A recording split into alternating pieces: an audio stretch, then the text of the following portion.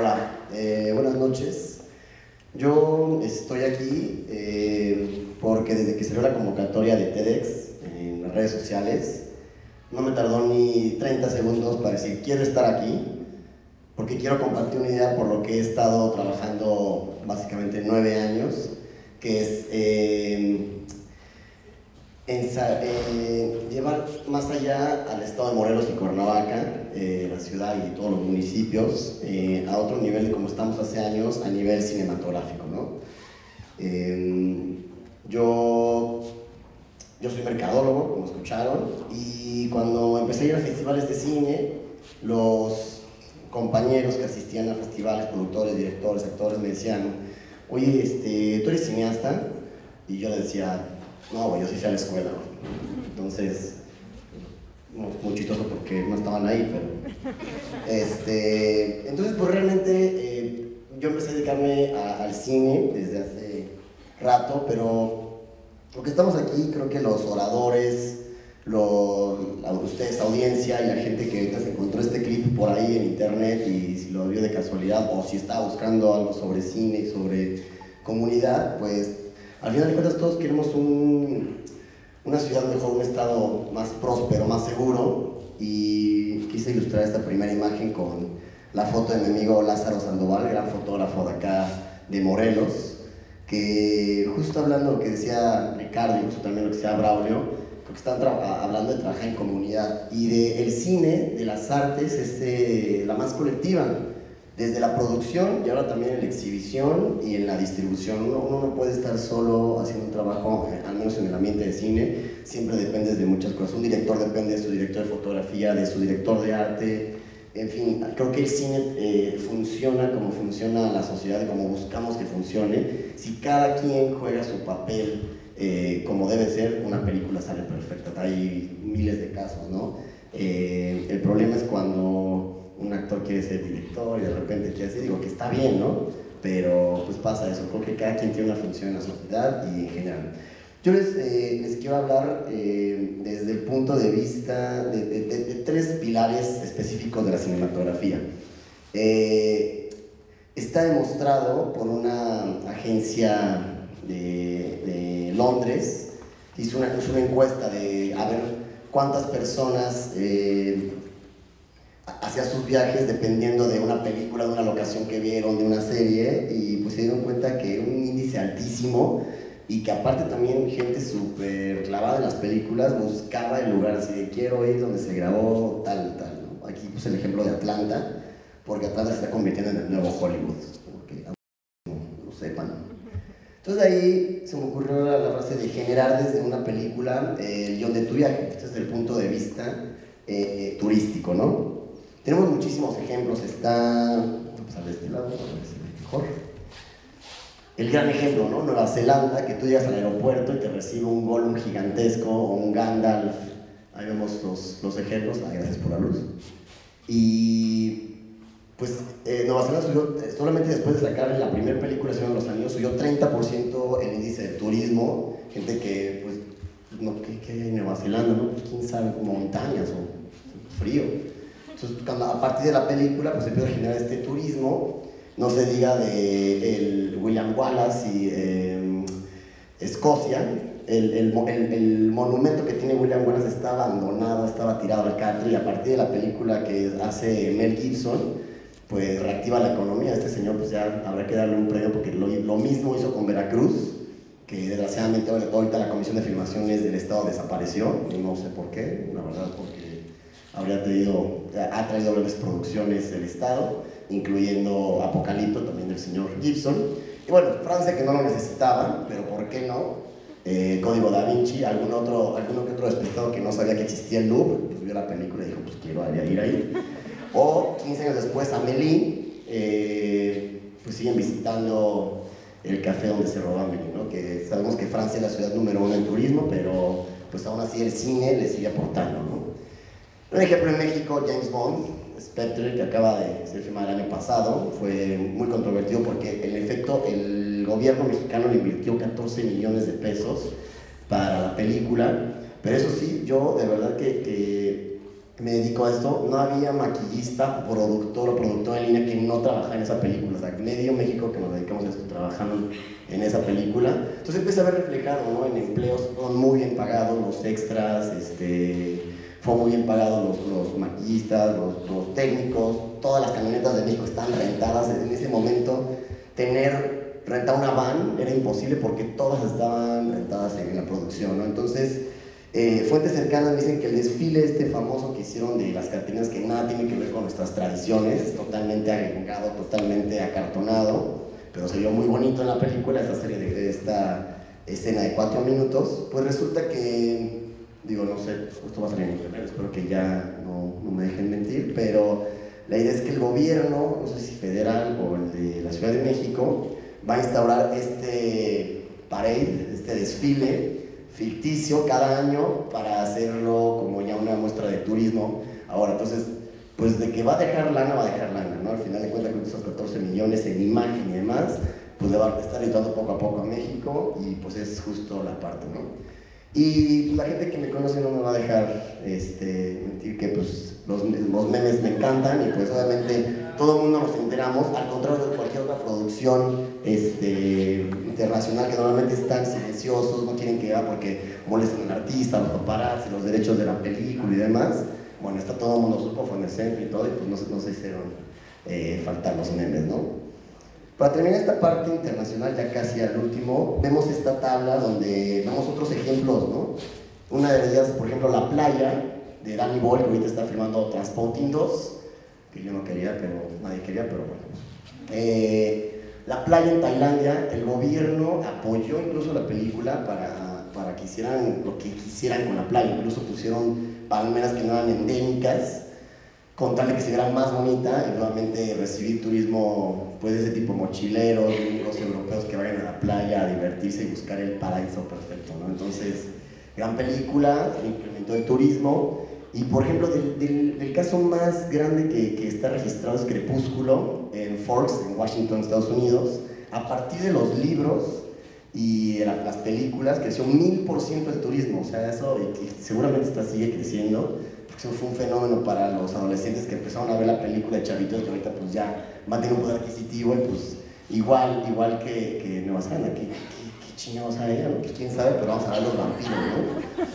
Pero bueno casos rápidos para no pasarme de 18 minutos. La banca de Forrest Gump, que estaba en los estudios de, de, cine originalmente, la tuvieron que regresar, o hacer una réplica más bien, en Savannah, Georgia, porque la gente sigue yendo, digo, ñoños como este que incluso se disfrazan, pero la gente sigue yendo y sigue siendo una banca, un atractivo turístico tremendo, porque es la banca de Forrest Gump, o sea, la banca de Forrest Gump.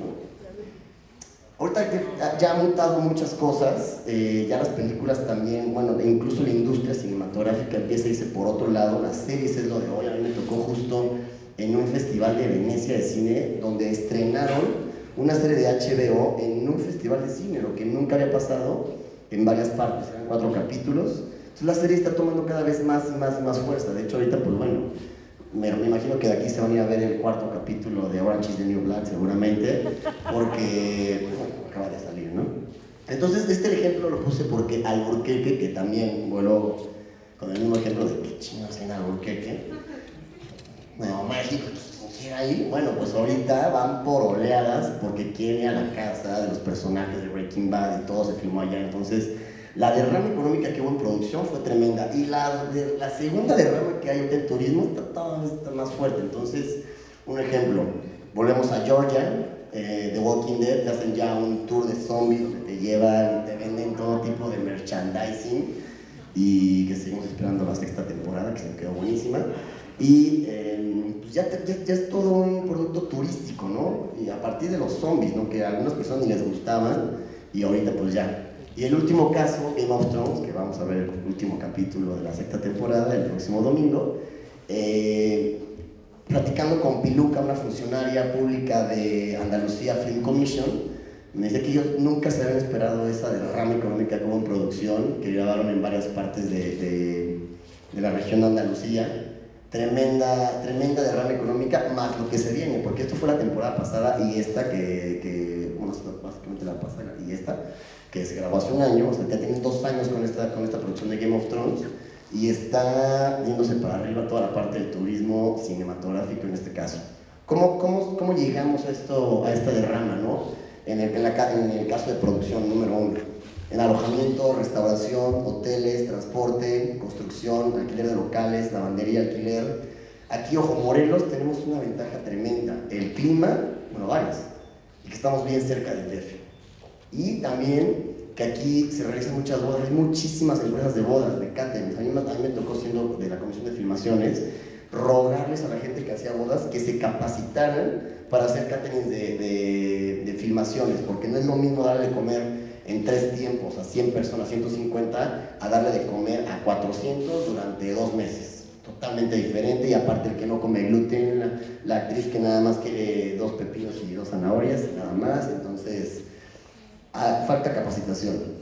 Luciana Cabarga, que en paz descanse, que es la creadora de la, de la, Comisión de Filmaciones en México y Latinoamérica, cuando falleció hace unos años, la nombraron en muchos medios la Tlapani del cine.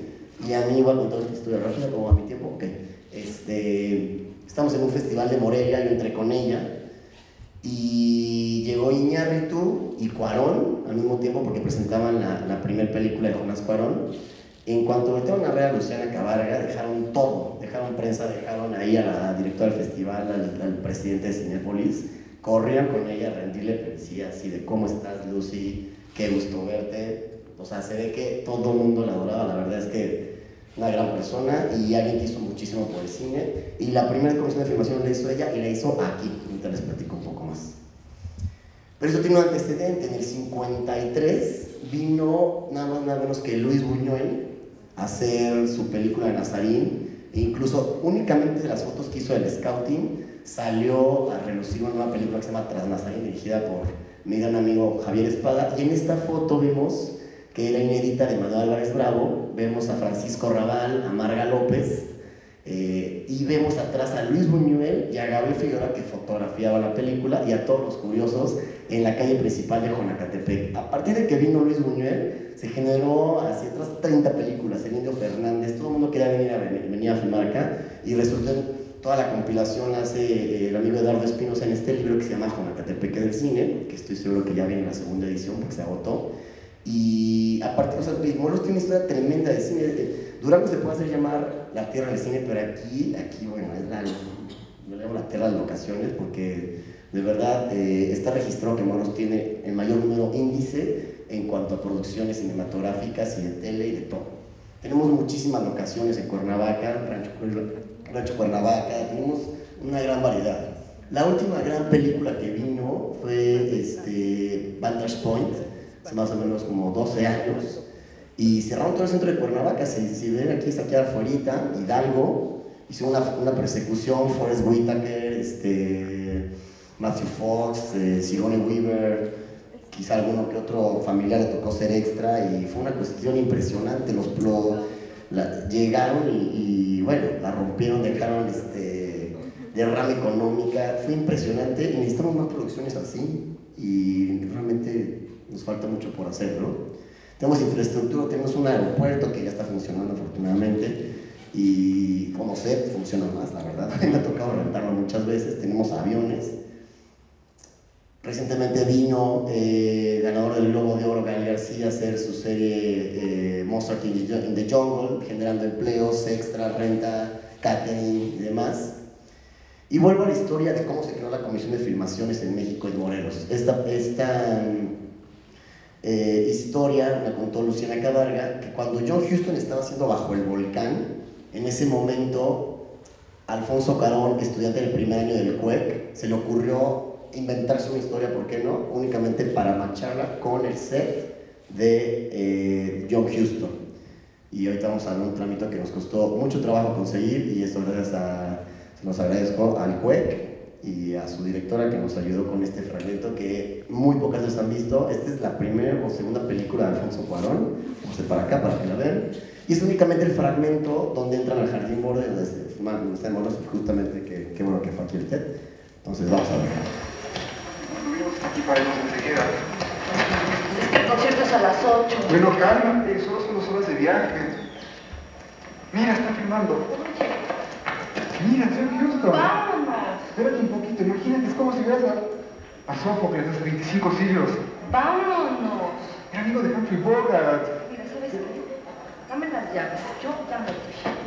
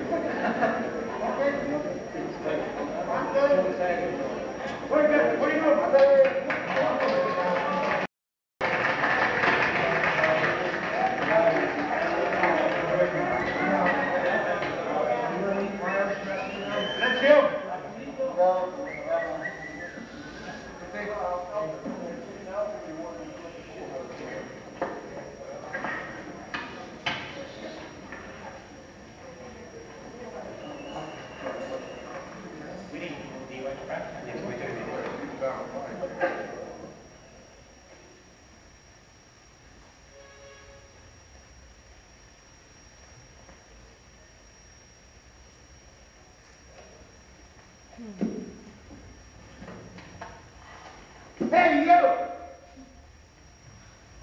Get the hell out of that chair. Come on, get the hell out of here. Who is he anyway?